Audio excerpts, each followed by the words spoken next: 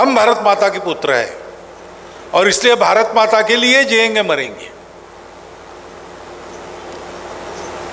लेकिन भारत में, भारत के लिए जिम्मेवार समाज कौन सा है?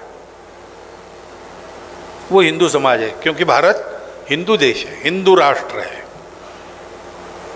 परंपरा से, प्राचीन समय से यहाँ पर हिंदू लोग रहते आए।